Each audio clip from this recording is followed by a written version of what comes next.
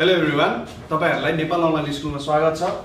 आजबाट हामी SEE preparation क्लासेसहरू start गर्न लागिरहेछौँ र आज एसइई प्रिपेरेसन क्लासेसको पहिलो क्लासमा हामी साइन्सको च्याप्टर वान फोर्सको बारेमा स्टडी गर्न गइरहेछौँ तपाईँहरूले अब धेरै फोर्सको बारेमा स्टडी गरिसक्नुभयो होइन? नेपाल अनलाइन स्कुलमा पनि क्लास टेनको फोर्सको कुराहरू तपाईँहरूले स्टडी गरिसक्नु भएको छ। होइन? फोर्सको क्वेसन्सहरू पनि सल्भ गरिसक्नु भएको छ है? तर आजबाट हामी एसइईको लागि चाहिने कसरी फोर्स च्याप्टर स्टडी गर्ने ताकि फोर्सबाट आएको क्वेसन्सहरू हामीले राम्ररी सल्भ गर्न सकौँ। त्यसै गरी सल्भ गर्ने मात्रै होइन त्यहाँ भएको टोटल मार्क्स नै के गर्न सकौँ त हामीले लिन सकौँ। त्यसरी चाहिँ हामी आज फोर्स च्याप्टर हेर्न गइरहेछौँ। ल तपाईँहरूले आफ्नो कपी पेन लिनु होला तपाईँहरूले पक्कै पनि स्टडी गरिसक्नु भएको छ। होइन फोर्सको कुराहरू त पहिले पनि स्टडी गरिसके नै हो। त्यही पनि आज थोरै भिन्नै तरिकाले स्टडी गरौँ भनेर हामी आज आएको छौँ है त? कपी पेन निकाल्ने अब लेख्न थाल्ने है त? सुरुमा फोर्स हामी सर हेरौँ फोर्स भनेको के हो भन्ने कुराहरू क्लास एट नाइनमा पनि पढ्दै नै आएको छौँ सिक्स सेभेन एट नाइनमै पढेर आएको कुरा है त? फोर्स भनेको के हो त? Push or pull of an object होइन सिम्पल कुरा के हो? फोर्स भनेको पुस अर पुल अब सरले भन्नुहुन्छ पुस अर पुल। यहाँनिर दुई शब्दले यो दुई शब्दले पुरै ब्रह्माण्डलाई नै के गरिरहेछ त? हल्लाइरहेको हुन्छ है त? यो दुई शब्दमा नै पुरै ब्रह्माण्ड चलिरहेको हुन्छ किनभने कुनै पनि फोर्स होस् जस्तो प्रकारको फोर्स होस् होइन? त्यो मार्सबाट आएको होस् जुपिटरबाट आएको होस् प्लुटोबाट आएको होस् त्यो फोर्सले गर्ने भनेको अन्तिममा पुस अथवा पुल गर्ने हो होइन? सबैभन्दा सिम्पल भाषामा भन्नुपर्दा फोर्सले गर्ने काम यति नै हो। योभन्दा ज्यादा फोर्सले नगर्न सक्थ्यो नगर्न सक्नेवाला छ नगर्न नै सक्छ। है त? तर अब यहाँनिर हामी डिटेलिङमा जान्छौँ। पुस अर पुल गर्यो तर के सबै पुस अर पुललाई फोर्स भन्ने त? मैले भित्तालाई ठेले यसलाई यसरी हान्यो भने यो फोर्स हो त। हुन पनि सक्छ होइन? भित्तालाई ठेले भित्तालाई ठेल्दाखेरि त्यो फोर्स हो। हुन पनि सक्छ अहिलेको लागि होइन? अथवा म कुदिरहेको छु अथवा गाडी कुदिरहेको छ त्यो फोर्स हो कि होइन? नहुन पनि सक्छ नि होइन? ल। फोर्स भनेको पुस अर पुल भनेर भनियो। यहाँनिर अब हामी भित्र छिर्यौँ भने के हुनुपर्छ त? यो पुस अर पुलले चाहिँ त्यो बडीको केमा चेन्ज ल्याउनुपर्छ? स्टेटमा चेन्ज ल्याउनुपर्छ। अर्को एउटा टर्म स्टेट। है हामीले स्टेट अफ म्याटर्सहरू भनेर पनि स्टडी गर्छौँ। यो पुस अर पुलले चाहिँ कुनै पनि बडीको स्टेटमा चेन्ज ल्याउनुपर्छ। अब स्टेट भनेको दुईवटा स्टेट हुन्छ। बडीको कि रेस्टमा हुनसक्छ कि मोसनमा हुनसक्छ। यो दुईवटा स्टेटमा मात्रै त्यो बडी हुनसक्छ कि रेस्टमा हुनसक्छ कि मोसनमा हुनसक्छ। अब कस्तोलाई रेस्ट भन्ने कस्तोलाई मोसन भन्ने होइन? अब कुनै बेला गाडीभित्र बसिरहेको छ भने जो मान्छे रेस्टमा छ बाहिरबाट हेर्दा त्यसलाई नि मोसनमा देखिन्छ होइन? हो त्यस्तो कुराहरू भइरहेको हुन्छ। त्यसो भए कस्तो चाहिँ रेस्ट हो कस्तो चाहिँ मोसन हो त भन्दा यसमा हामीले फ्रेम अफ रेफरेन्स लिन्छौँ। फ्रेम अफ रेफरेन्सको कुरा हुन गयो। फ्रेम अफ रेफरेन्स भनिसकेपछि कसको आधारमा हामीले मोसन चेक गरिरहेको छौँ त्यो नै हाम्रो के हुन जान्छ त? रेस्ट अर मोसनको कुरामा हुन जान्छ। भनेपछि यो सबै कुरा केमा डिपेन्ड हुँदो रहेछ? फाइनल्ली फ्रेम अफ रेफरेन्समा डिपेन्ड हुँदो रहेछ। कुनै कुरा रेस्ट अर मोसन भनेको त्यसको स्टेट भयो। स्टेट चेन्ज गर्नको लागि हामीले फोर्स युज गर्नु पर्यो र त्यो फोर्स लागेको छ कि छैन भन्ने कुरा हाम्रो फ्रेम अफ रेफरेन्समा डिपेन्ड गर्दो रहेछ। यति कुरा क्लियर भयो हामीलाई है? फ्रेम अफ रेफरेन्स भनेको कसले मोसनलाई अब्जर्भ गरिरहेछ अथवा कसले जुन बडी हेर्नुपर्ने हो त्यो बडीले हेरिरहेछ अब तपाईँले यहाँनिर मलाई आफ्नो स्क्रिनमा हेर्दाखेरि रेस्टमा देखिराख्नु भएको छ। है? स्क्रिनमा हेर्दा रेस्टमा देखिराख्नु भएको छ होइन? तर तर तपाईँले अब पृथ्वी बाहिरबाट मलाई हेर्नु भने मोसनमा देख्नुहुन्छ होइन? हो त्यस्तो कुरा आउँछ यहाँनिर। कि कहाँबाट हेरिराख्नु भएको छ आफू कस्तो स्थितिमा हुनुहुन्छ त्यो अनुसार हुन्छ। फेरि सर अब मेरो स्थिति चाहिँ कसले जनाउँछ भन्ने कुरा भन्न आउन सक्छ होइन? अब म मोसनमा छु भन्ने कुरा चाहिँ कसले बताउँछ त? म मोसनमा छु भन्दाखेरि अर्को मोसनमा हुनसक्छ अथवा अर्को रेस्टमा हुन्छ? हो यस्तो खालको धेरै गन्जागल हुनसक्छ यहाँनिर हामीले सपोज मात्रै के गर्नु पर्यो भने यो फ्रेम अफ रेफरेन्सको कुरामा बुझ्दाखेरि जुन चाहिँ हिँडिरहेको छैन है त? त्यहाँनिर हामीले एउटालाई चाहिँ मान्नै पर्ने हुन्छ कि ल यो चाहिँ हिँडिरहेको छैन है? यो चाहिँ त्यहाँनिर बसिरहेको छ। जस्तै यो गाडी अगाडि हिँडिरहेको छ भने यहाँनिर एउटा मान्छे गाडीको पोजिसन अनुसार यसको पोजिसन चेन्ज भइरहेको छैन। ठिक छ? यदि गाडी अगाडि हिँडिरहेको छ यो चाहिँ गाडी अनुसार यसको पोजिसन चेन्ज भइरहेको छैन भने यो केमा हुन्छ त? रेस्टमा हुन्छ। यसले हेर्दा यो रेस्टमा छ हामीले हेर्दा यो रेस्टमा छ। अब ऊ पनि हिँडिरहेछ गाडी पनि हिँडिरहेछ भने त्यो डिफ्रेन्ट कुरा हो। ठिक छ? यदि यो फ्रेम अफ रेफरेन्स अनुसार बडीको पोजिसन चेन्ज भएन भने रेस्टमा भयो। यदि यो फ्रेम अफ रेफरेन्स अनुसार बडीको पोजिसन चेन्ज हुन्छ भने मोसन भयो। ठिक छ? भनेपछि फोर्सले के गर्नु पर्यो भने यदि कुनै बडी मोसनमा छ भने त्यसलाई रेस्टमा लान सक्नु पर्यो अथवा धेरै मोसन दिन सक्नु पर्यो। अथवा रेस्टमा छ भने त्यसलाई मोसनमा ल्याउन सक्नु पर्यो। ठिक छ? हो यहाँबाट बुझ्न सकिन्छ। त्यसैले भित्ता ठेल्दाखेरि तपाईँले फोर्स त लाउनु भयो होला। तपाईँ थाक्नुहुन्छ तर साइन्सको टर्म्समा त्यो फोर्स हुने भएन। किनभने बडीको पोजिसनमा केही पनि अन्तर आएन। अथवा बडीको जुन स्टेट छ त्यो स्टेटमा केही पनि चेन्ज हुन गएन। ठिक छ? यो नै हाम्रो के भयो त? फोर्सको डेफिनेसन अथवा फोर्सको कुरा भयो ठिक छ?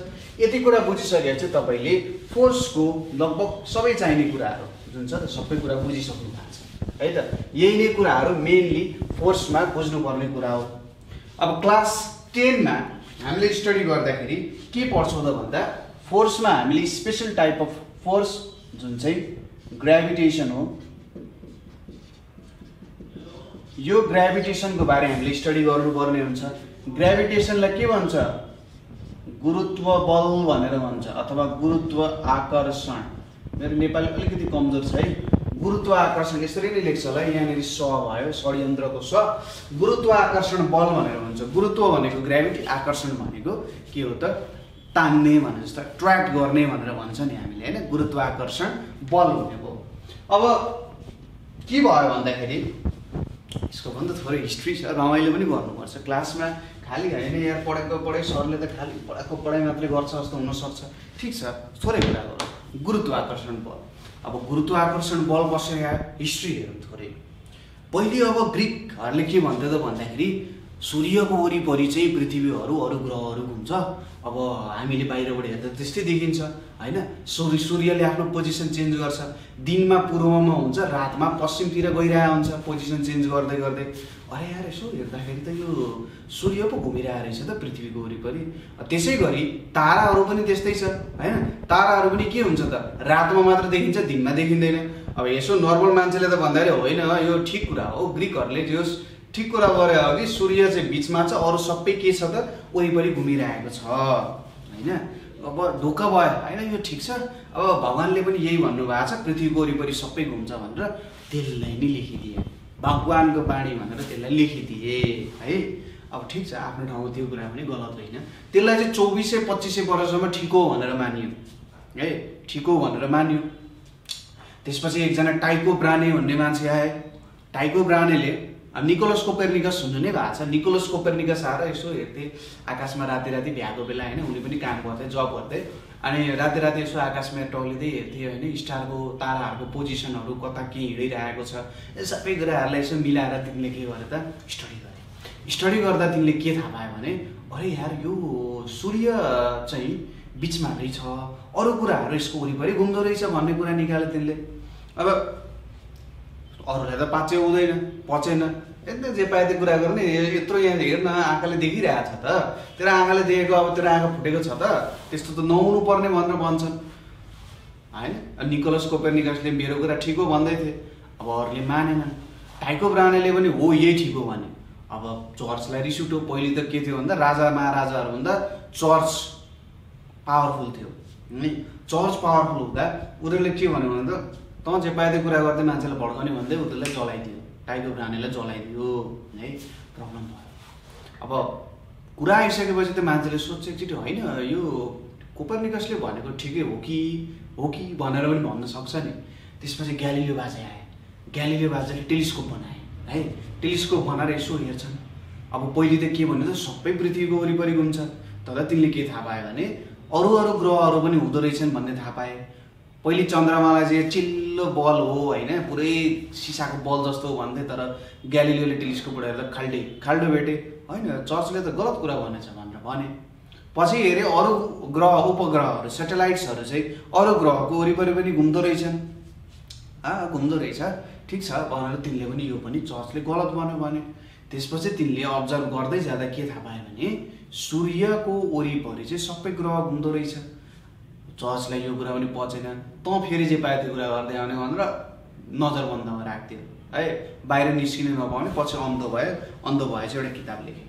है र त्यो कुरा पछि चाहिँ मान्य पनि भयो कि चर्चले भन्यो हामीले गलत काम गराएर रहेछौँ सूर्यको वरिपरि अरू ग्रहहरू घुम्दो रहेछ भनेर भने।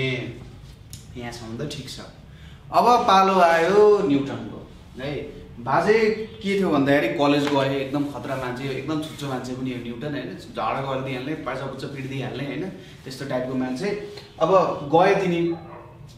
अब जाँदाखेरि के भयो त कलेजमा अब यस्तै खालको हैजा लाग्यो प्लेग भनेर भन्छ। प्लेग लागेपछि घर फर्किए। अब हो अब सूर्यको वरिपरि अरू ग्रह त घुम्छ। तर घुम्छ कसरी? होइन त्यत्तिकै त घुम्दैन होइन? त्यत्तिकै तपाईँ काम गर्न सक्नुहुन्छ। खाना त खानु पऱ्यो नि होइन?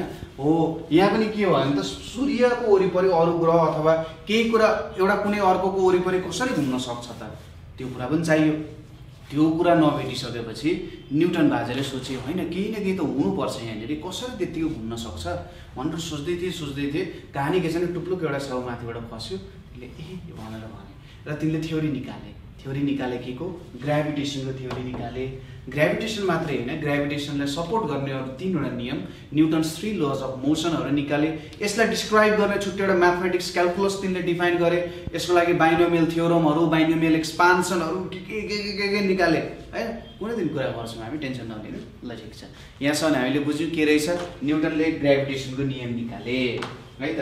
ग्राभिटेसनको नियम निकाले। यसमा छुट्टै अरू अरू रमाइलो कुराहरू पनि छ है त? ग्राभिटेसनको नियममा अरू छुट्टा छुट्टै रमाइलो कुराहरू पनि आउँछ टेन्सन नलिनु। हामी बिस्तारै त्यसको बारे स्टडी गर्दै नै जान्छौँ। यसमा केही प्रब्लम भएन। के थाहा पायो त? न्युटनले के थाहा पायो भने कुनै पनि एउटा ग्रह छ यहाँनिर अर्को ग्रह छ। यसले के गर्दो रहेछ भने ठिक छ? यो एउटा ग्रह भयो यसको पिण्ड होइन मास एम छ क्यापिटल एम यसको मास एम छ। यो ग्रहले यसलाई आफूतिर तान्दो रहेछ र यो ठुलो ग्रहलाई पनि सानो ग्रहले आफूतिर तान्दो रहेछ र यसरी एकअर्कालाई तान्दो रहेछ। अब बाजेले भन्न सकेनन् अब बाजे किन तान्छ त? यार त्यत्तिकै त नतान्नु पर्ने होइन? त्यत्तिकै त जादुगर त होइन ग्रहहरू जादुगर होइन। कसरी तान्छ? भन्नुहुन्छ न्युटन बाजेले होइन होला नि त केही छ त्यहाँनिर भनेर भनिदिए। जे होस् तर तिनको नियम एक तरिकाले ठिक थियो।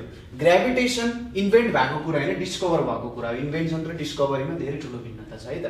ग्राभिटेसनको नियम तिमीले पत्ता लाग्यो कि हरेक प्लानेट अथवा हरेक अब्जेक्ट्सहरू भनौँ। यिनीहरूलाई म अब्जेक्ट्सहरू भन्छु। हरेक अब्जेक्ट्सहरूले एक अर्कालाई तान्दो रहेछ। है? हरेक अब्जेक्ट्सहरूले एक अर्कालाई के गर्दो रहेछ? तान्दो रहेछ होइन? एउटाले अर्कोलाई तान्छ सानोले ठुलोलाई पनि तान्छ ठुलोले सानोलाई पनि तान्छ है? तर एक अर्कालाई तान्दो रहेछ।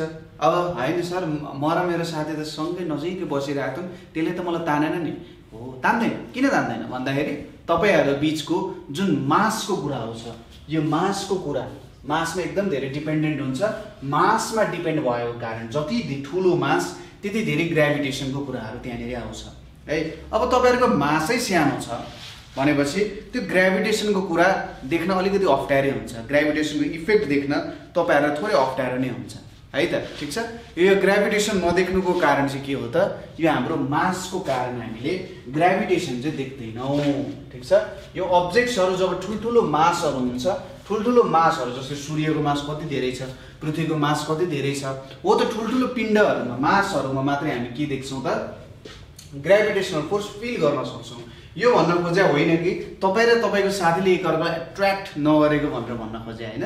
जस्ट के भन्न खोजे भन्दाखेरि एट्र्याक्ट गर्नुहुन्छ तर त्यो फोर्स जुन हुन्छ त्यो फोर्स चाहिँ एकदमै सानो हुन्छ।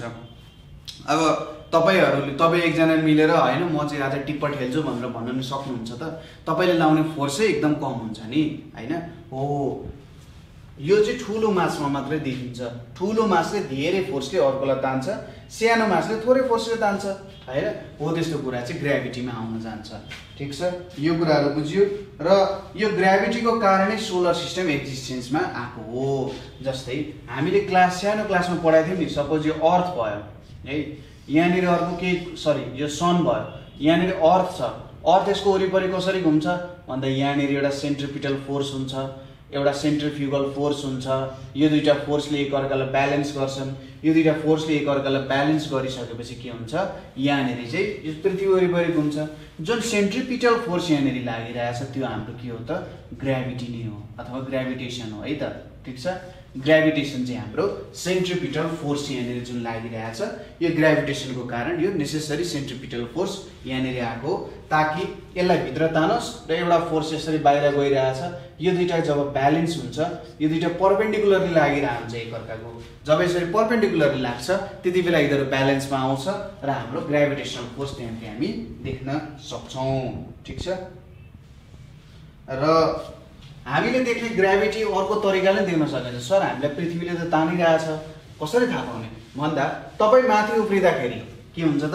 तपाईँ माथि उफ्रिँदाखेरि धेरै माथि उफ्रिन सक्नु हुँदैन होला अब स्प्रिङ लाउनुहुन्छ भने धेरै माथि उफ्रिनु होला।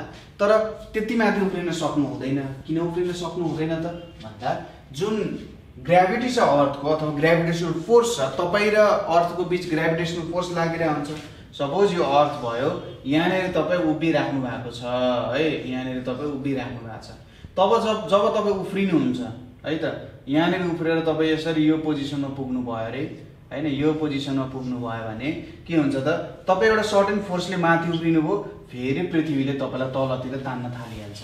तान्न त हरेकचोटि तानि नै रहेको हुन्छ। तर जे होस् तपाईँको फोर्स र उसको फोर्स चाहिँ के हुन्छ? घटी बढी जस्तो हुन्छ। है त्यो घटी बढीकै कारण तपाईँ फेरि पृथ्वीमै आउनुहुन्छ। र हाम्रो सोलर सिस्टमहरू सबै कुराहरू एक्जिस्ट हुनुको कारण के हो त? यो ग्राभिटेसनै हो। है त? ठिक छ?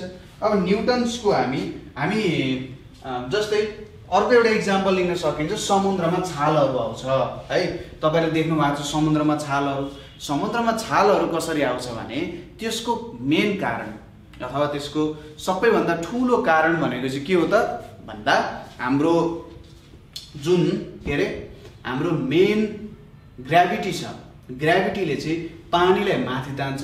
पानीले यसरी माथि तान्छ। पानी धेरै बेर माथि रहन सक्दैन। त्यो फुत्लोको फेरि तल झर्छ। सरी माथि तान्छ फेरि झर्छ। फेरि माथि तान्छ फेरि तल झर्छ यसरी।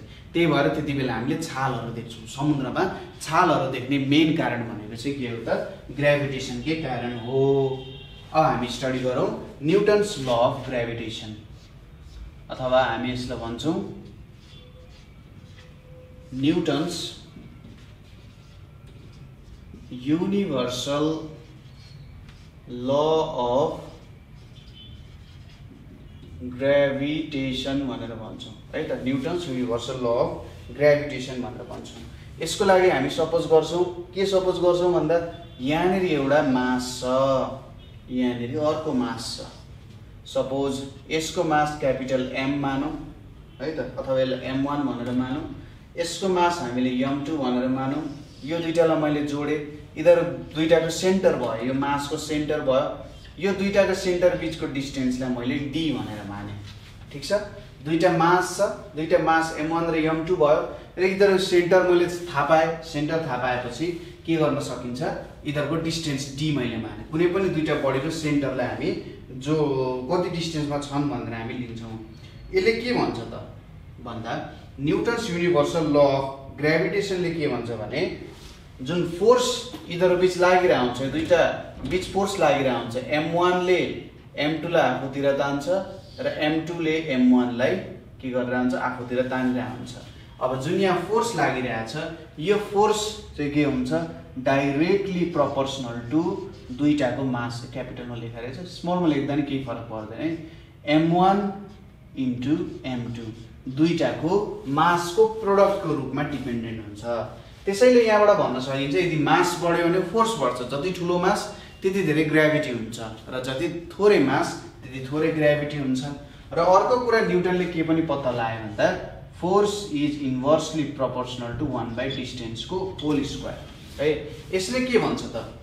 मेरो डिस्टेन्स जति टाढा हुन्छ ग्राभिटी त्यति नै कम हुन्छ। यदि म टाढा टाढा छु दुईवटा प्लानेटहरू टाढा टाढा भयो भने ग्राभिटेसनल फोर्स पनि के हुन्छ? विक हुँदै जान्छ। नजिक छन् भने ग्राभिटेसनल फोर्स पनि स्ट्रङ हुँदै नै जान्छ। ठिक छ? यो दुइटा हाम्रो न्युटनको नियमहरू भयो। मास बढ्यो दुइटाकै मास बढ्यो भने पनि भयो। एउटाको मास घट्यो भने पनि फोर्स घट्छ। डिस्टेन्स बढ्यो फोर्स घट्यो।